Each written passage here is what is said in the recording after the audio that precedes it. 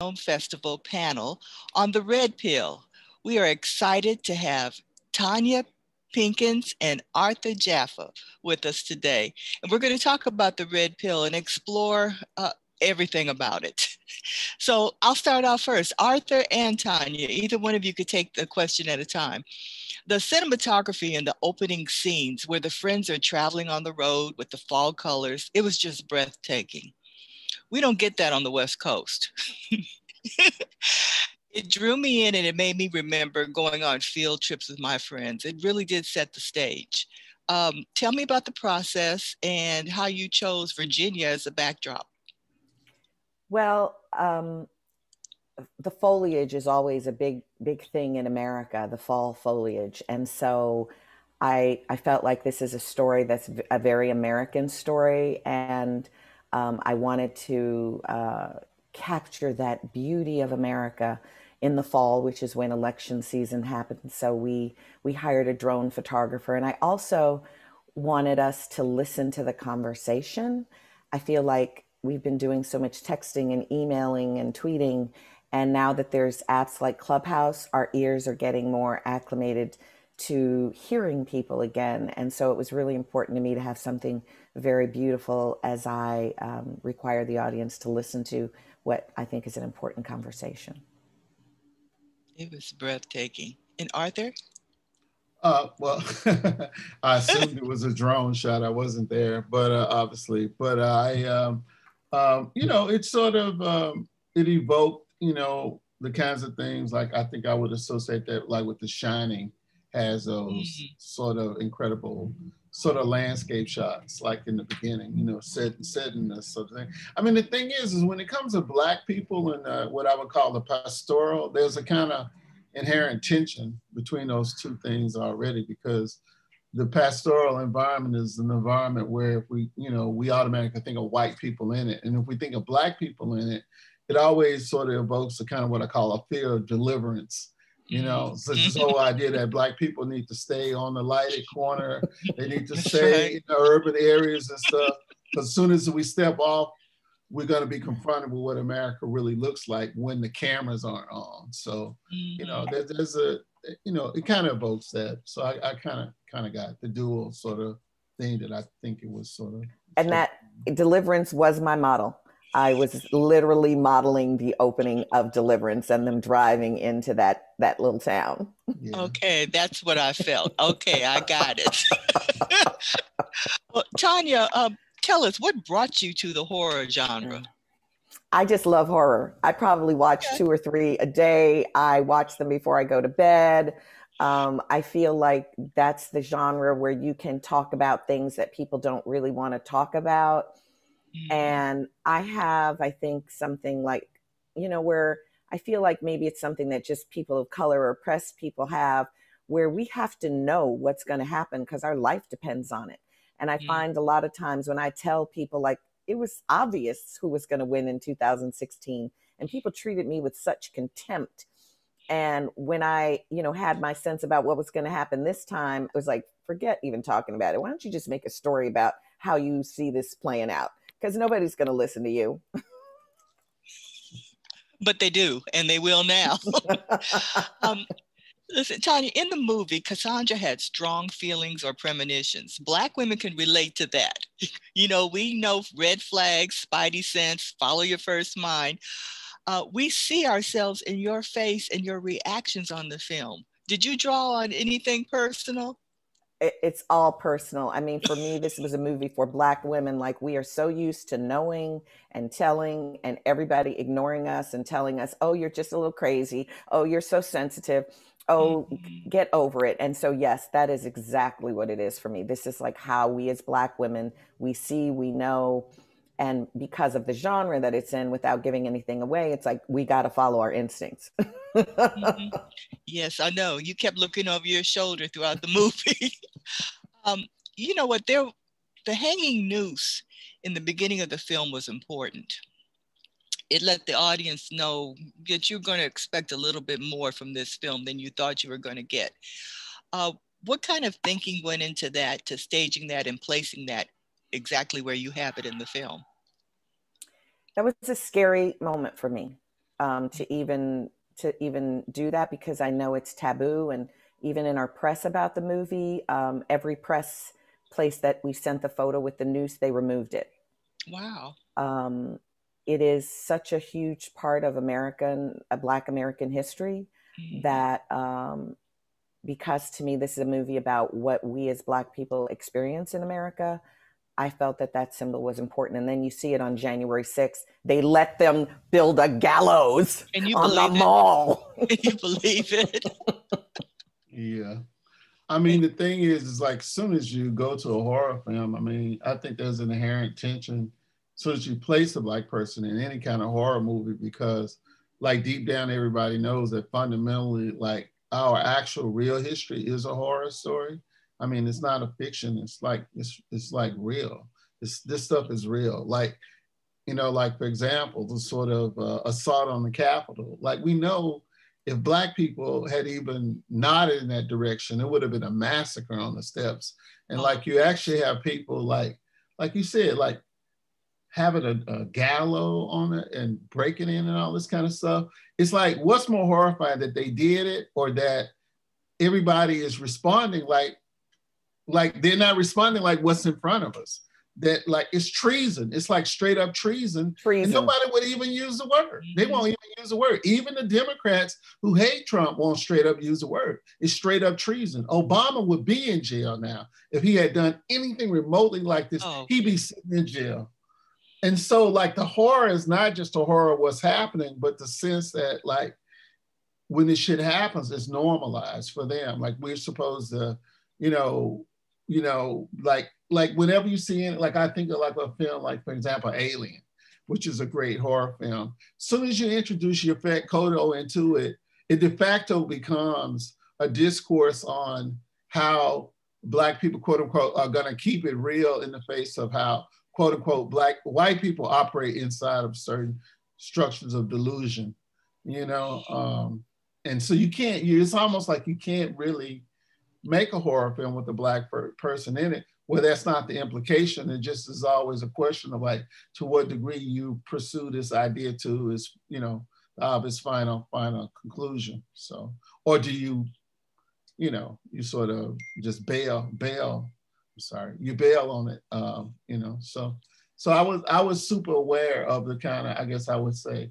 the meta dimension in the film. The whole time i'm watching it happen but i'm also watching the rhetorical you know there's a rhetorical dimension where like you know because you even see memes now like i just recently saw a meme it's like the oldest joke like horror films wouldn't exist as they're structured if black people would be in them because from the beginning black people you know i just saw one of the they, they come into a house and the, the the photo on the wall moves a little bit and they just turn around and leave. they don't never check in. It's just like, yo, we got enough craziness. We're not looking for craziness. So. Um, No, that was like Rochester on the Charlie Chan.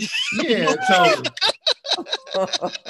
Feet don't fail me now. yeah, exactly. Yeah, and it's like for me also like what is scary to black people and what is scary to white people, even in the horror genre, is very different. Like white people want to mm. see some great kills for me and for many of the you know people of color who have looked at the film the scary shit for them is when nothing is happening. Like people are acting all normal and it's like no some shit is getting ready to go down. All of this calmness and shit that's the tense part. Because mm-hmm, when the blood and guts happens it's over with. Exactly. Yeah okay. oh, yeah. you know i noticed there's a lot of attention to detail and even putting nick in a dashiki well, well, how did you decide to do that?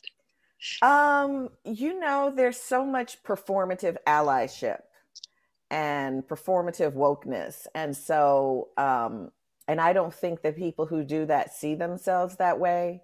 And mm. so this was my opportunity because I, I was like, no studio would would let you get away with that. Like because I this is an indie, I could put an I, I could be the black gaze on white performative allyship.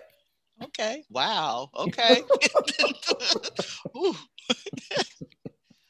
All right. Well, knowing what we know now about the overt extent of racism and the political intersections in the movies were just spot on. you showed that there is no cookie cutter definition of progressive, liberals, or conservatives. And that there's always shades of gray. Was that one of the messages? And do you have other messages?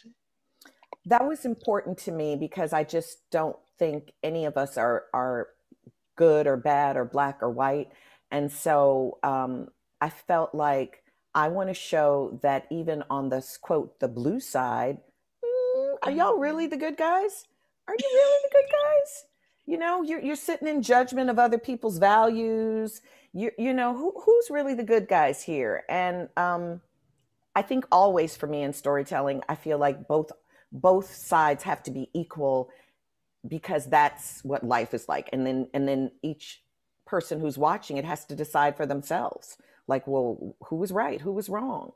Mm-hmm. you know that was important to me that um, there was no clear good guys or bad guys. And you know back to nick again i think that the black people or the latin people the asian people we're always the fool. And uh, i you know that's a that's a flip that you know he's the fool in this story hmm.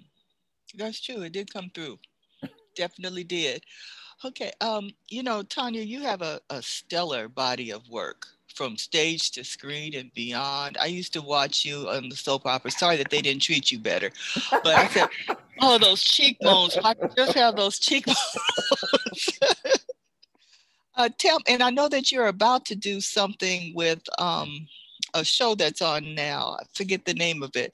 Let me see if I put it in my notes. Oh, Women Run the World. Oh, run the world. Yeah. Yeah. So I mean, you're still working as, um, but this try after this trifecta of writing, acting, and producing, what's next?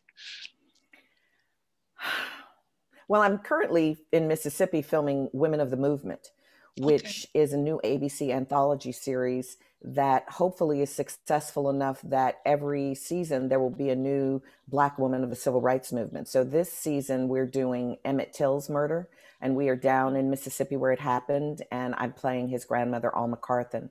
So I think the hope is that every season ABC will do another woman of the movement. For me, in terms of storytelling, I loved getting to tell my own story. I just I had never seen um, a story told from a Black woman's point of view that way.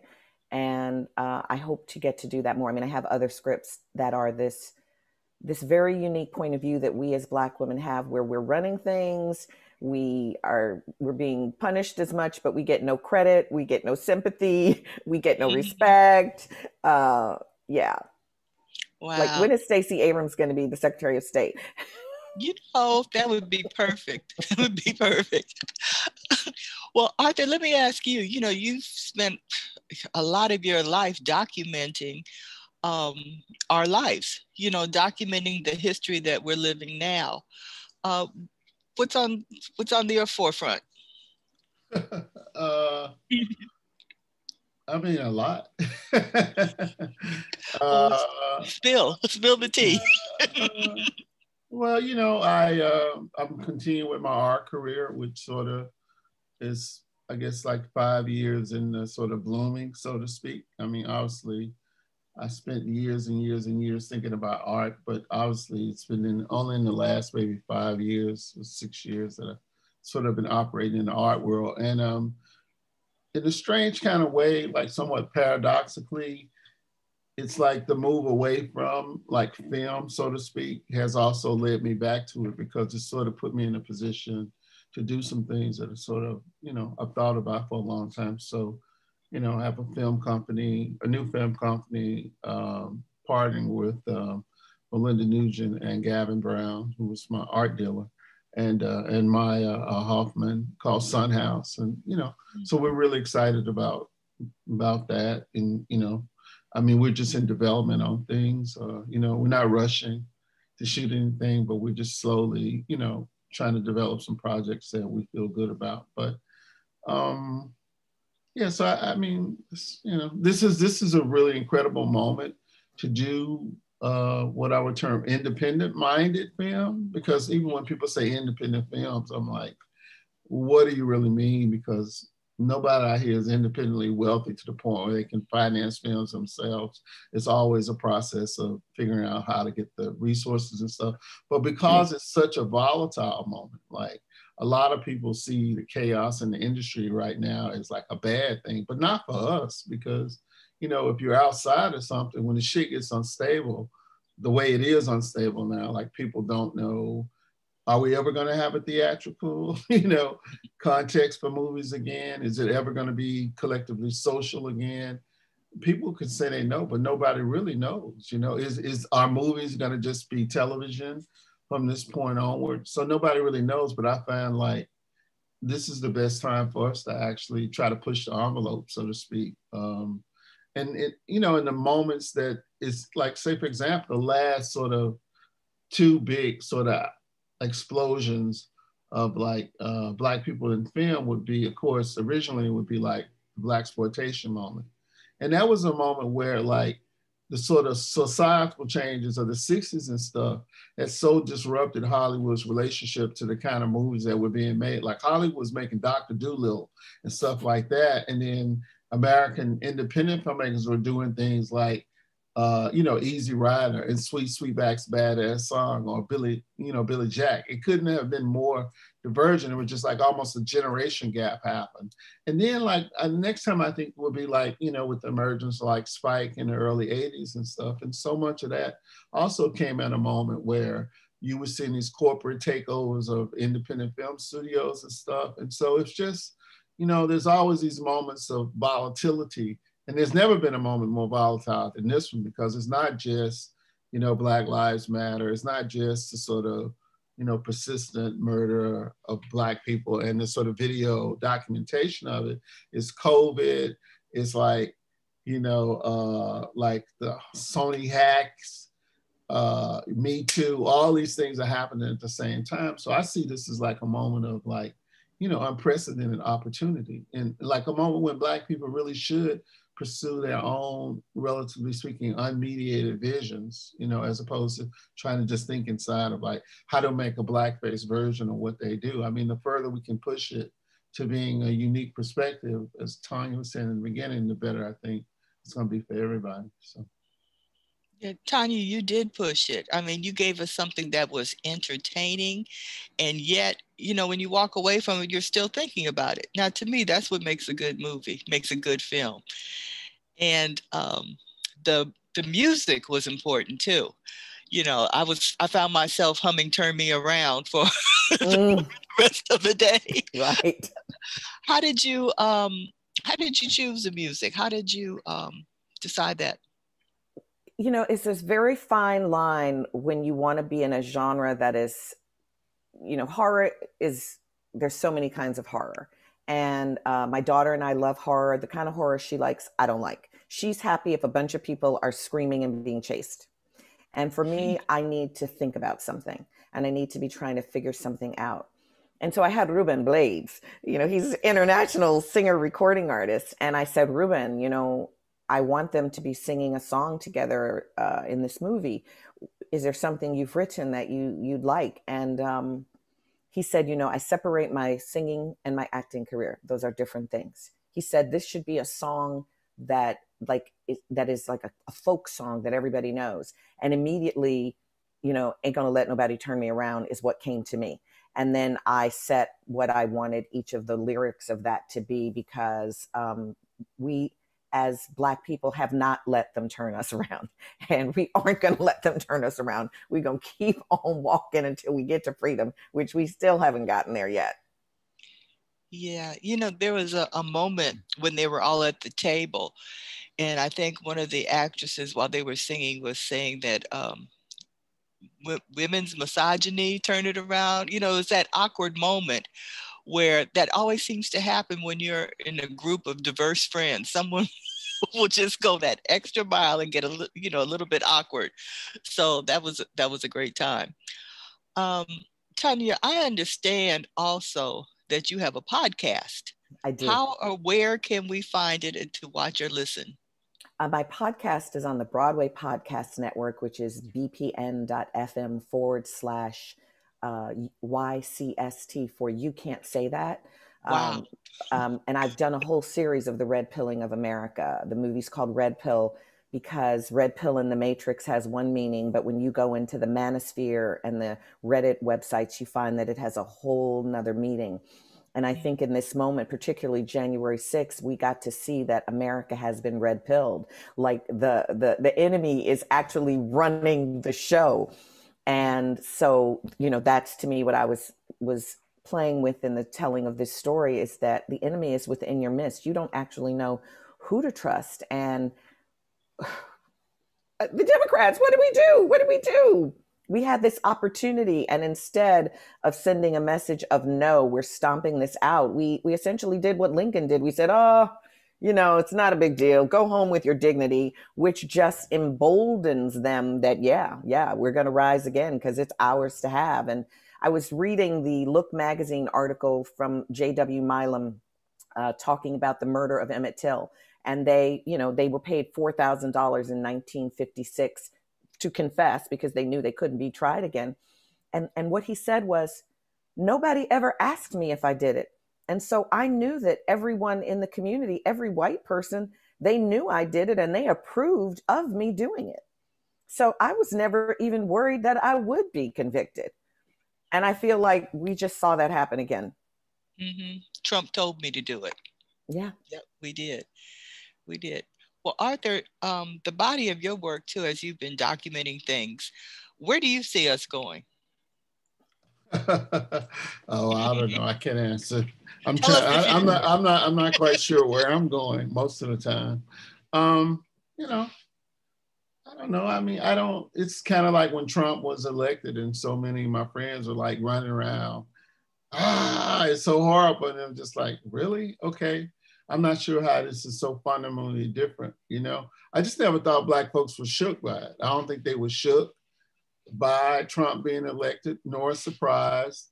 Um, I mean, I do feel like there was a moment, and I know like uh, Brother Cornel West took a lot of heat during Obama's administration because he was one of the few people who seemed to be, you know, willing to offer some critique of the administration. And I felt like that was a moment where, in some ways, Black people's, um, the way we like historically speaking have been the community of like keeping it real, like in a sense, you know, when people want to celebrate in this.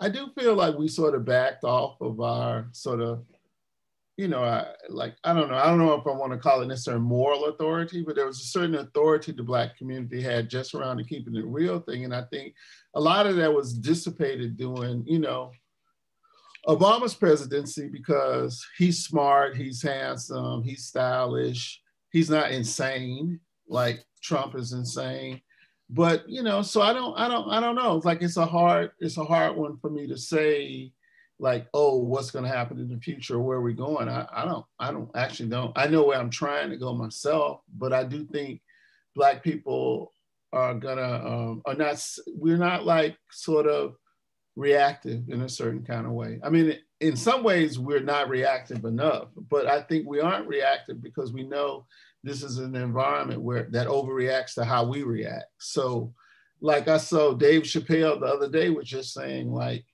you know, people rush up on the Capitol and stuff, and they think it's going to change something. He said, but black people know that won't change anything, or else we would have tried it in the several hundred years that we've been here. We would have tried to raise the White House. And we know that's not going to fundamentally change anything. Like putting this president or that president in that particular office is not going to fundamentally change anything. If it would have, we would have seen more significant changes when Obama was in office, but it didn't fundamentally change. I mean, like people act like Black Lives Matter came up under Trump.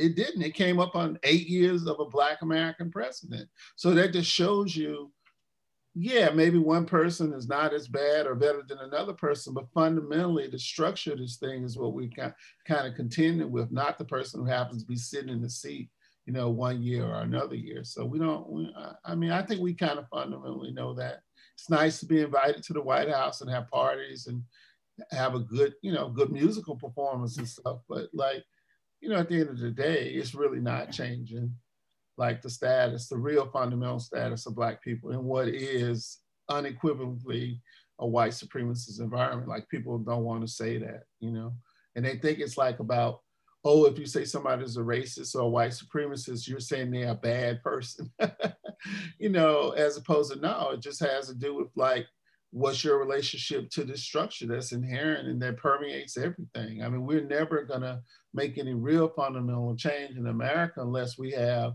our own sort of equivalent of truth and reconciliation on some level. And we're not even beginning to be able to approach that. We can't approach truth, much yeah, less exactly. reconciliation. We can't even tell yeah. truth. You can't have no reconciliation unless you have truth. And we've never gotten to that. So, you know, so given that it's just business as usual, we just will keep on keeping on in the meantime and trying to, you know, take a step forward. Sometimes it's two steps forward, one step back, but you know, it's, it's just about just continuing to show, like they say, la luta continua. It's no, it's no like we're gonna get there. It's just a constant uh, process of trying to move forward, trying one way, trying another way. I don't, I personally don't buy into like big global principles of what's gonna emancipate us. I think, you know, we just keep keep keep keep it on. I mean, if nothing else, the black community has demonstrated our ability to survive almost anything. So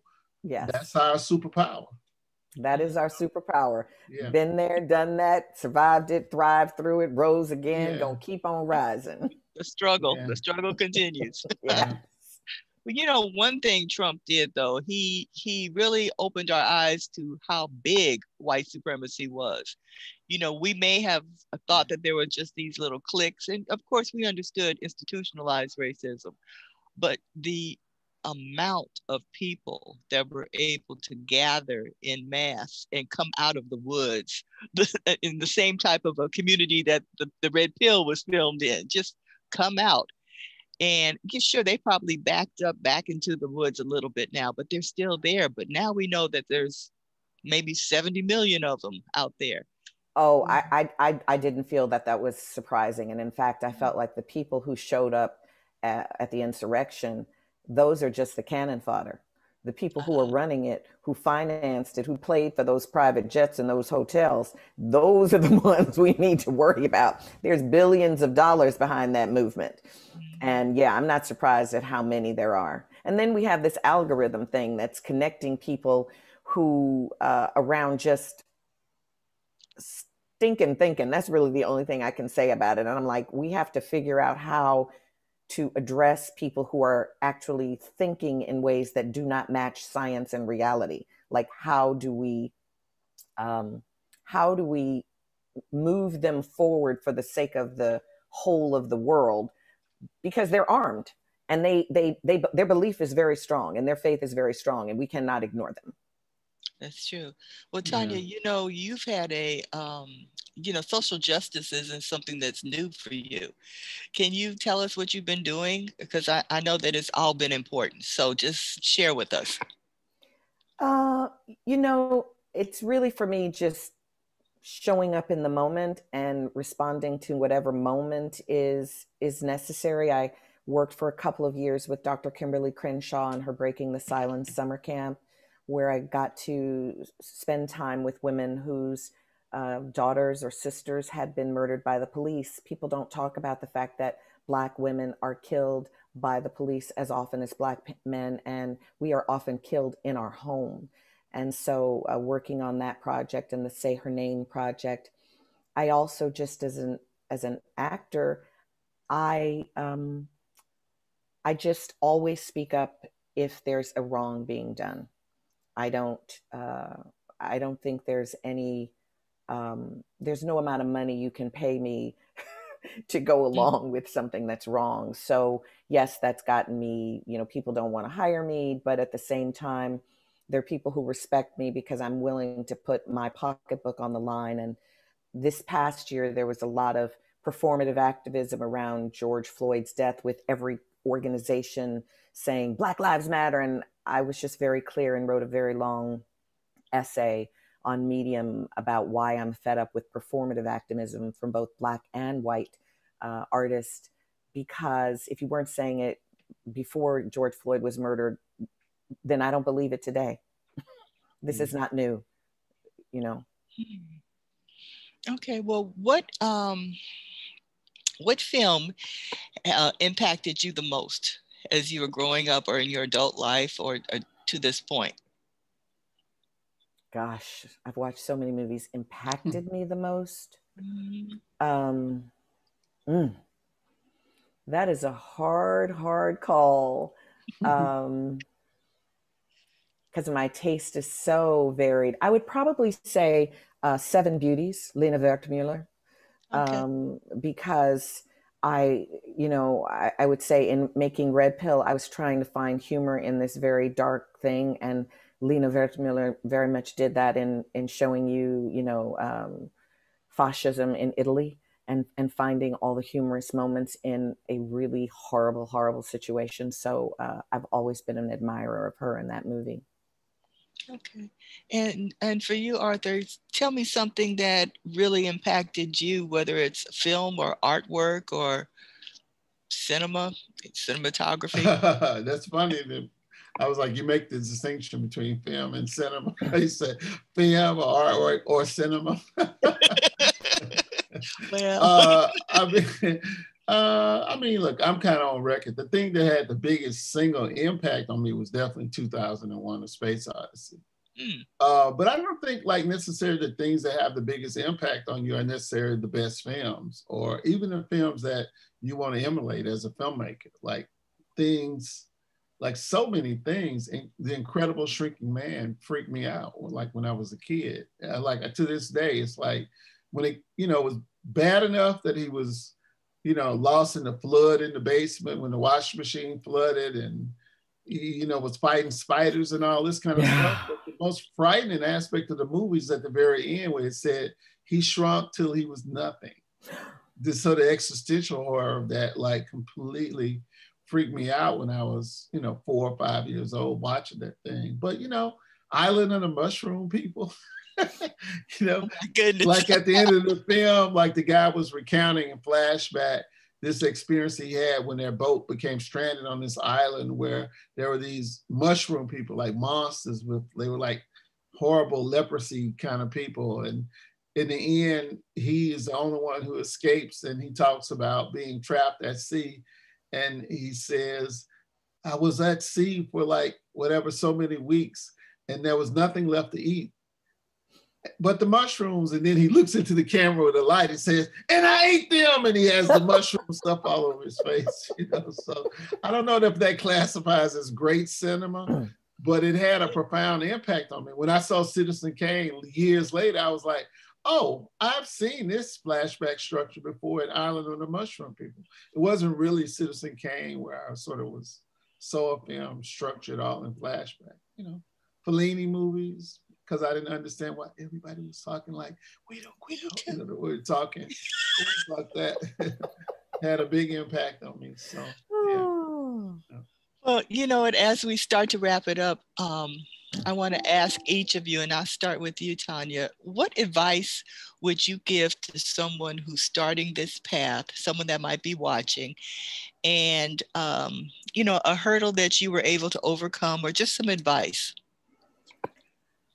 I truly believe that if it was put on your heart and you have a strong desire, that it's for you to do. And that everything that comes in your path, every no, every obstacle is just about sharpening you so that you can do that thing that was put on your heart to do. I know that sounds, you know, it's a discipline I have that I bless my obstacles. Um, in my my journey to path video, I said the no's were what got me to making a movie. I mean, I know a lot of people in this business. I've shadowed, you know, on a lot of big TV shows. I have relationships where I've asked people to let me direct and they all said no. And because they all said no, I was like, well, I'm going to say yes to myself and I'm going to give myself the opportunity. The technology has gotten to the point now where you can shoot 4K on a phone. You can tell a story whatever story you, you want to tell. You can put it on the internet, you can put it on the VOD sites. There is nothing to stop you from telling a story right now. And I feel like we all have to decolonize our minds, and that includes white people because you know white supremacy don't care about white people either when they let all them people get shot in Las Vegas and nothing happened, it was like oh, white supremacy don't care about white people either. So we all have to decolonize our minds and and and start to tell the stories that maybe nobody else we think nobody else has experienced it that way or seen it that way.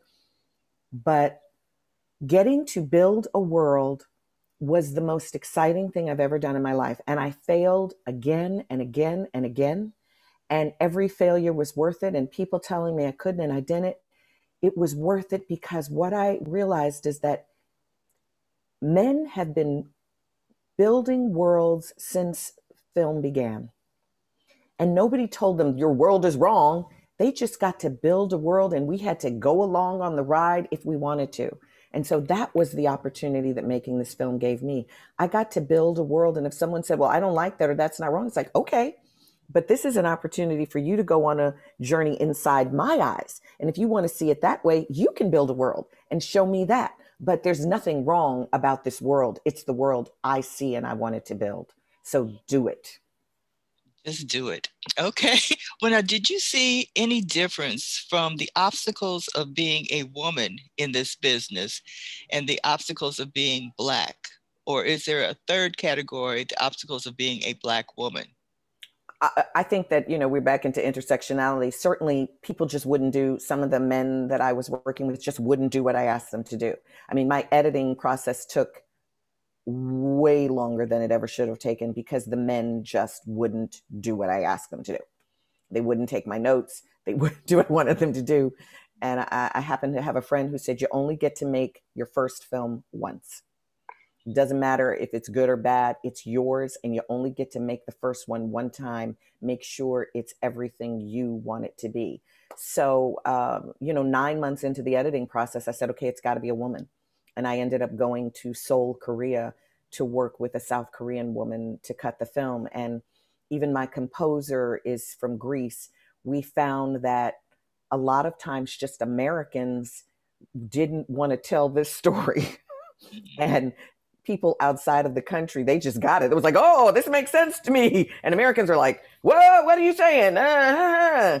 So, um, yeah, that that I felt like the thing that black women as a black woman we get to tell is besides the indigenous people we have less wealth than anybody in this country and we are at the bottom of um, we're at the bottom of the american world. I mean even the the indigenous people have reservations and they get money from the government. Um, i wanted to be able to tell a story through my eyes that i was clear that other black women would relate to even when lots of people were telling me I don't I don't like that. That doesn't make sense. And I was like, okay, well mm-hmm. now you know what my life is all day, every day. People don't like what I have to say. They don't think I'm making any sense, even though I know exactly what is about to happen. It made a lot of sense. Trust it did. Mm. Well, Arthur, let me switch over to you and ask you what advice you would have for someone who wanted to pursue all of the fields of endeavors that you have. I mean, I would just echo Tonya. It's just, you know, pursue your bliss, um, understand, uh, even though we can't accept other people's definitions of us, sometimes shit's just not meant for you, you know? and it's a discipline. I mean, I find with myself, I'm constantly telling my son, you know, it's easy to be like, you know, you know, what's not meant for you is not meant for you when it's something that you know you sort of only vaguely want. It's hard to to stay in that discipline when um when it's something you really want. But you know, I guess I'm just very much my mother's son in that respect. It's like you know, you just the door closes and another door opens. You know, I've, I've seldom at the at the age I'm at now, I have to say I've sel- I've often gotten things, didn't get things that I wanted, but at the end of the day, I've seldom not gotten things that I needed. So I just I just try to trust that, and if one door doesn't seem to be opening, then I just accept. You know, once I've given it my due diligence, I accept that it's not the door I should be going through. I should be going through another door. So. Well, eh, what kind of obstacles have you experienced as a black man in this industry? you got another you got another two or three hours. yeah, I mean, I don't know.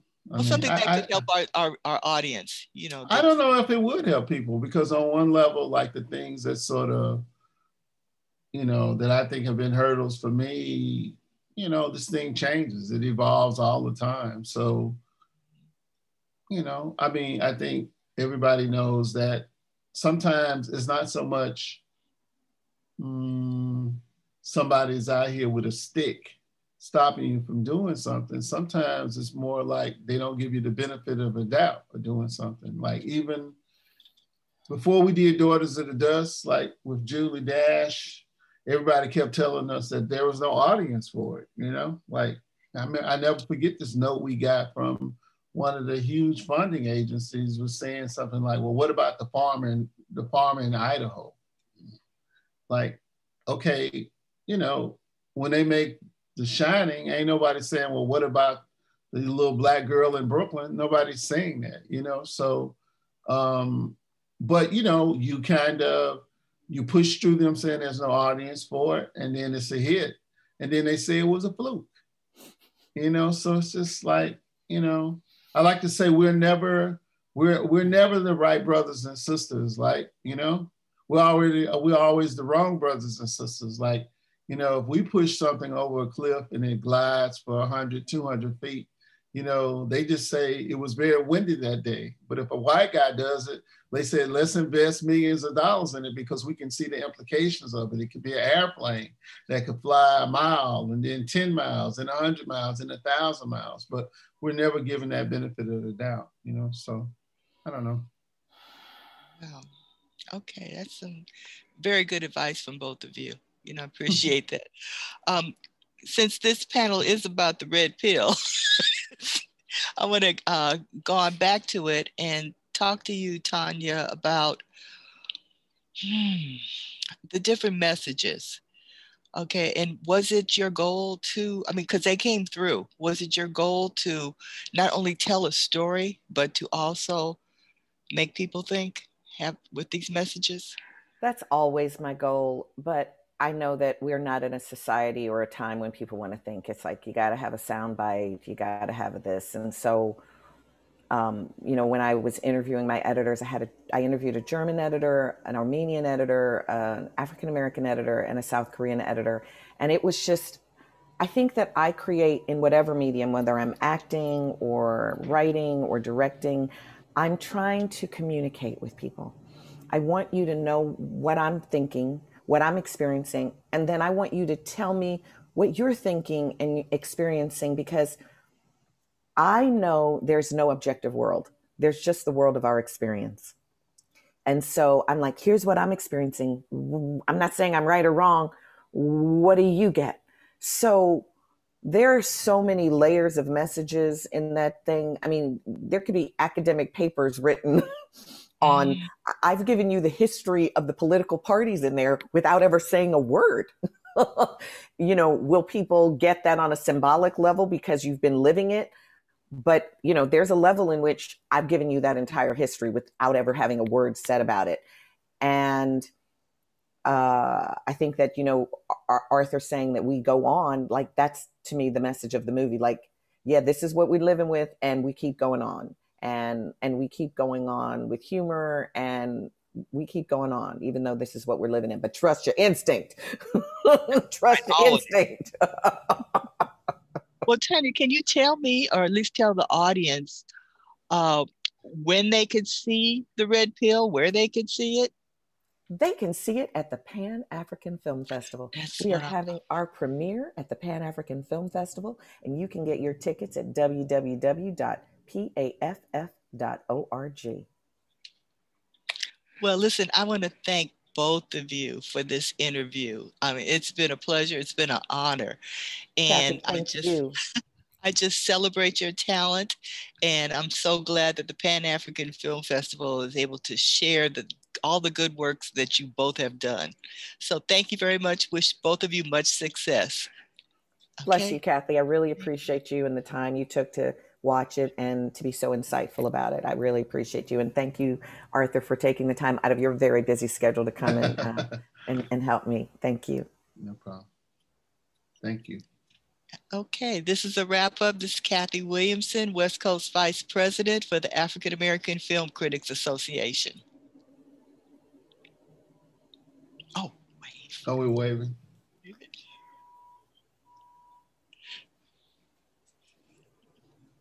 So it's Pan-African Pan, Film African Film Festival. yeah. Okay. Yes. Okay. One, two, three, four, uh, five. And one second for me. Let me just.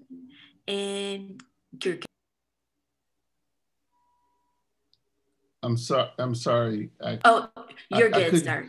I couldn't hear. I couldn't hear the cue because it went like out. It went So- right out. Uh, okay. Uh, five, four, three, two, one. Uh, hey, this is uh, AJ Arthur Jafa, and I'm super excited to be participating with the Pan African Film Festival 2021 edition. Uh, it's exciting, and I'm happy to be down with it. I'm sorry, I, messed that up. Can I try that again? Yes, sir. Pick up whenever you're ready. Okay. Uh, hey, this is uh, AJ Arthur Jafa. I'm really excited to be participating with the 2021 Pan African uh, Film Festival. Perfect. Thank you. Um, and sir, do you mind just doing one more and, and saying uh, your like your title? So uh, I'm Arthur Jeff and your your your title or profession, and and then uh, doing it. Is that okay? Uh, uh, like my title, like professor or something? you mean? Like Filmmaker, artist. Oh, uh, Cinematographer. Something, something of the lines like what you do or whatever, whatever you do, which we know, but I'm also filmmaker, like you're okay. here, like you're here with Tonya Pinkin, um, okay. something like that. Okay. You guys gonna have to give me a script the next time. I'm like, hmm, okay, got it. So tell me when I should go. Whenever you're ready, sir. Okay. Uh, this is Arthur Jafa. I'm a filmmaker, and I'm here having a conversation with the incredible Tonya Pinkins uh, to uh, in support of uh, her film screening at the 2021 uh, edition of the Pan African Film Festival. Perfect. Perfect. Okay, great. Wonderful. Okay. Uh, Okay. thank, thank you, Mr. Arthur. And now we'll go to Miss Tonya and get her drop. And give me just a second. Okay, I'm gonna bounce. I'll talk to you later, Tonya. Okay. Thanks, AJ. Okay, no problem. Bye bye. Thank you, sir. Bye bye. Okay, and now Miss Tonya, um, again, if you can just say your name and give a little drop for us as well, and I'll count you down. Let me, let me just ask a question. Do you want a drop for the panel or a drop for the festival or both? uh, we would like both if you if you're okay, Okay, with that. let me do both then. All right. Okay, perfect. I'll do two in a And you- row. Okay, and you can start when you're ready. Hi, my name is Tonya Pinkins, and I'm excited to participate in this panel with Kathy Williamson of the African American Critics Association. Oops, look back because you're the vice president, right? You're not just the of the Kathy Williamson. Okay, I'm going back. Here we go. Hi, my name is Tonya Pinkins, and I'm excited to participate in this program, The Red Pilling of America, with the vice president of the African American Critics Association, Kathy Williamson, and with the brilliant cinematographer, visual artist, Arthur Jafa. I'm here with my film at PAFF, Red Pill. The festival is February 28th through March 14th. Get your tickets now. Tonya, that was perfect, except for you. Say, say Pan African Film Festival, Gotcha. because most Here we go people again. don't know. Yeah, what PAFF is. Okay. yeah, but that's perfect. Okay. Okay. Hi, my name is Tonya Pinkins, and I am ecstatic to premiere my debut feature, Red Pill, at the Pan African Film Festival and to participate in this panel with the Vice President of the African American Critics Association, Kathy Williamson, and the brilliant cinematographer, visual artist, Arthur Jafa. Get your tickets February 28th through March 14th for the Pan African Film Festival.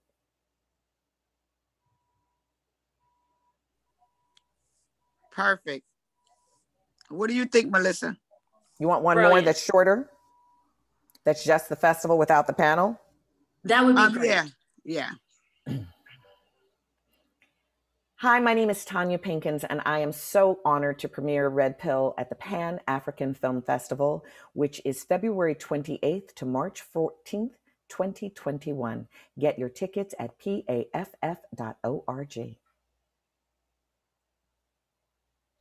Perfect. You should have been a director or an actor. I'm trying. I'm I'm still hope I'll break in before I die. You know, maybe I got a few more years left. Kathy, you were just it was such an honor. I'm so grateful to you. Thank you so much. Thank you, But Melissa. I feel the Thank same Linda. way. Thank you for your hard work. Thank you. Thank you. Thank you, Miss Tonya. I'm so Thank you, excited to see your film based on this conversation. It's wonderful. Thank you. So Thank you. Miss Linda. Thank you. I'll talk to you later. I love you, love you, love you. Thank you All so right. much. Thank you. And Miss Kathy, we'll keep you Okay. Okay. Okay, Miss Kathy. Um, so we need to do a couple of things with you, if that's okay, if you have a moment. Um, we want to go ahead and get your intro again for the panel. And if you could um, introduce the participants as well. So um, just maybe say their name and title, that would be great. Um, so we'll get that one more time clean from you. And then we'll do um, some drops from you as well. Is that okay? Mhm. Okay, Actress, I just want to make sure I have it all. Actress, uh, producer, and Mhm. director. Okay, Yes. got it. Okay. All right, cinematographer. Okay, And so I'll let you take your own cue. And then um, if you want to do another one, just give us a beat in between so that we could cut and then you can start over. Okay. Hi, this is Kathy Williamson, West Coast Vice President for the African American Film Critics Association. We've just wrapped up an exciting panel with actress, producer, and director Tonya Pinkins and cinematographer Arthur Jafa for Tonya's exciting film, Red Pill, which will be featured at the Pan African Film Festival on February 28th. How's that? That, That was, was good. perfect. That does an, an outro. Um, can we get one that is the intro for the panel? Um, so not in the past tense, but like you're kicking it off at the very top. Okay. Also, wait a minute, one one more thing. Also, whenever you say the festival, say February 28th through March 14th. So Okay, um, you might have to do the other one over because her film is not going to be played on the 28th. That's Ah, the opening. It's going to be, you can see it anytime between February 28th through March 14th. okay. Okay. To March 14th. Okay.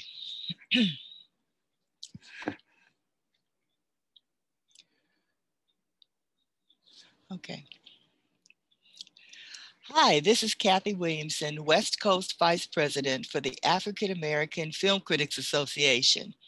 And we're about to sit down with actress, director, and producer Tonya Pinkins, and also cinematographer Arthur Jafa, to talk about Tonya's new exciting film, Red Pill, which will be featured at the Pan African Film Festival, February 28th through March the 14th.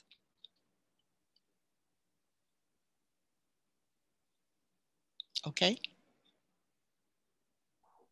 Yes, I think I think that was good. Um, and do you want to do the the outro version that you did before, where you talked about it in the past tense, um, as if you're wrapping up the session um, and uh, thanking them for participating and whatnot, and just giving those the range of dates instead of just uh, February 28th. Okay. Thank you for participating. And uh, should I send them to the website to purchase tickets or something? You know what? We can do that Yes. in the. dr- Do you, Miss Linda, you want to do it here in the outro because they're already kind of in the session if they're listening, right? So would it make more sense in the drop? Oh, yeah, in the drop. Yeah, in the drop, not the outro. Outro. Yeah. Yes, ma'am. Okay.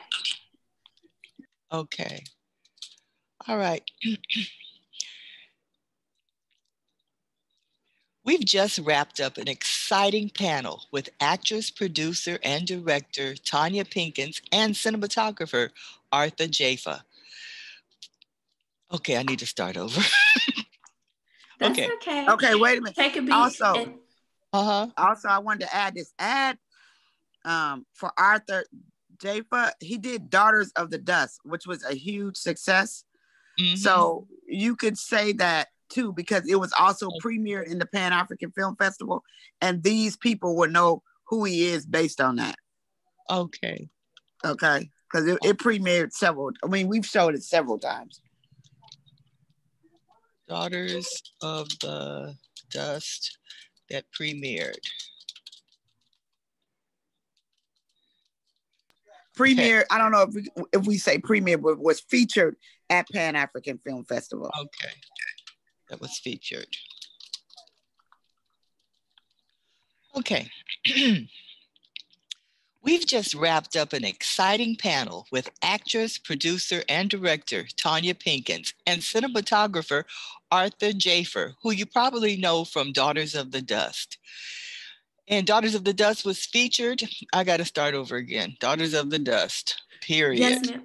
And and uh, Miss Kathy and Miss Linda, Yes. um, because this is the outro, and you guys have just finished up this lively conversation, um, do you think it should be more like, uh, you know, thank you, Tonya and Arthur, and then kind of say, you know, uh, doing the little bits that you have, you know, Arthur's film, uh, Daughters of the, or Daughters of the Dust was featured in the festival before, and you know, Tonya's current film, Red Pill, is, fe- but you know what I mean, like tying it more to the present because you just finished wrapping up, and this is kind of the summation of the session. Yeah, thank yeah, thank you, thank you. It's um much better. And thank you, Pan African. Thank you, Tonya. Thank you, Arthur. And then a little bit of credits about them, and then that's it. Okay. I'm you. I'm also getting ready to hop off, you guys, because I have another one um to jump on. Thank you so much, Kathy. You were awesome. It Thank was you, Liz. wonderful. All right. And Melissa, as soon as you finish, uh, you hit me up, okay? Yes, ma'am. Okay. Okay. All right. Let me see. Arthur. Also, you may know Arthur. No, you know Arthur's work.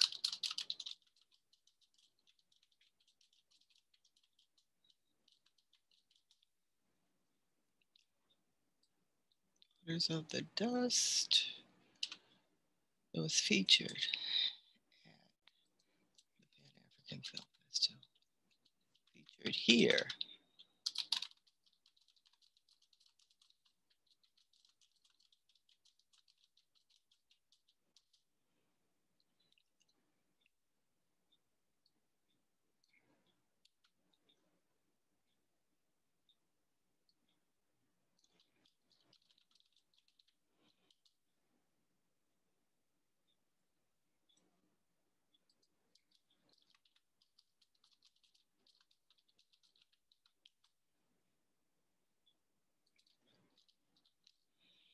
Okay. okay, ready, Melissa? Yes, ma'am. You can take it whenever you're ready. Okay. We've just wrapped up an exciting panel with actress, producer, and director Tonya Pinkins and cinematographer Arthur Jafa. Thank you, Tonya and Arthur. You know Arthur's work from The Daughters of the Dust that was featured here at the Pan African Film Festival. Tonya's exciting thriller, Red Pill, will be featured at the Pan African Film Festival February 28th through March the 14th. Thank you for participating and please visit paff.org. Awesome. Oh, And- good, it worked. Yes, ma'am. I think that works fine. And then um, what we can do next is just do your drop for the festival. And there we can, you know, say the festival dates there and just uh, whatever you would like to say organically. So, you know, using your words of, um, you, but of course, you know, saying your name and title and just welcoming or inviting someone to uh, join the festival and check out the films and, and letting them know the dates of the festival. Okay, let me, because I have to read or I'll forget. Okay. Um, Um, Just- okay, you know, like Hi, I'm Kathy Williamson with the African American Film Critics Association, and I invite you to join us uh, to uh, join us for this year's 2021 Pan African Film Festival, um, taking place February 28th through March 14th. To get your tickets and check out the lineup of great films, visit the website www.paff.org or you know just something like that. Okay to March 14th.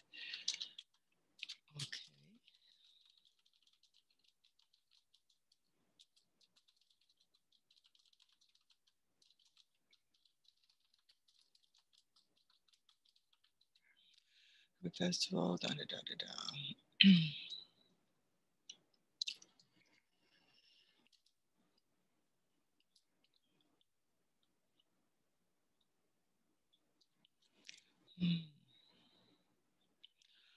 Okay. this is Kathy Williamson, West Coast Vice President of the African American Film Festival. Uh oh, not festival, Kathy. this is Kathy Williamson, West Coast Vice President of the African American Film Critics Association. I want to invite you to come. Oh, blah, blah, blah, blah. Okay. Hmm. Okay. This is Kathy Williamson, West Coast Vice President of the African American Film Critics Association. Don't miss the 2021 Pan African Film Festival, February 28th through March the 14th. To get your tickets and to find out the lineup, visit paff.org. Thank you. See you there. Perfect. Ah. who, who knew the hard part would be that the interview was fantastic such great questions and uh, dialogue back and forth yes yes awesome well um, I think that will. Do we have the? Oh, would you mind doing um, just a drop to invite people to check out the panel discussion? Like we've done the festival, we've done the intro and outro to the session, but would you like to do just a tease for this uh, panel? Of encouraging them to come. Is that okay? Yeah, let me see. Okay. Okay.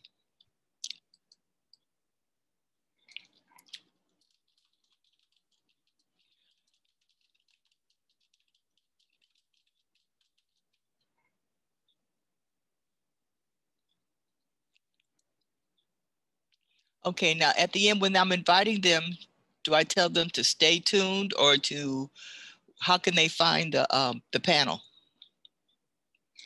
Um, I would say um, check the schedule for mm-hmm. these because as I understand it, all of the panels will coincide with the screenings. Okay. So I would uh, say check for date schedule. and time. Mm-hmm, yeah. mm-hmm. Okay. Got it. Okay, ready. Hi, this is Kathy Williamson, West Coast Vice President for the African American Film Critics Association. I want to invite you to attend an exciting panel with actress, producer, and director Tonya Pinkins and cinematographer Arthur Jaffee. Jaffee, Jaffa, Jaffa. Okay, over again. Hi, this is Kathy Williamson, I want to invite you to attend an exciting panel with actress, producer, and director Tonya Pinkins and cinematographer Arthur Jafa. You know Arthur's work from The Daughters of the Dust that was featured here at the African American. Jesus Christ, this is hard, huh? it All happens right. to everyone.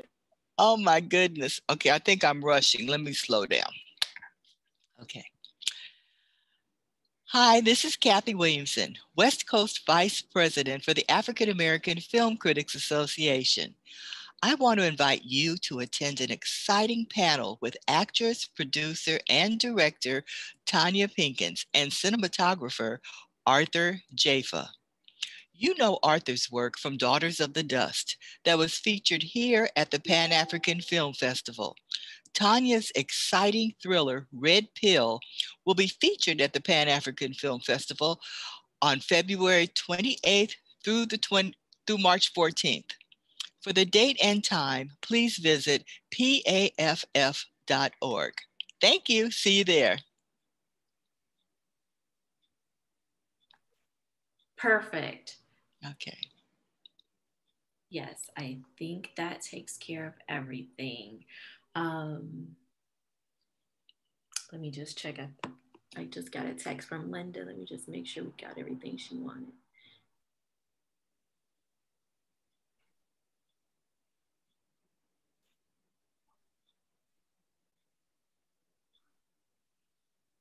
Okay. Yeah, I, uh, yes, I think that has us covered. So uh, I think that'll do it for you. Thank you well, so very much. It's been a pleasure to meet you and to work with you. Yes, ma'am. You as well. Let's turn my video back on. So you're not talking to, to just the text.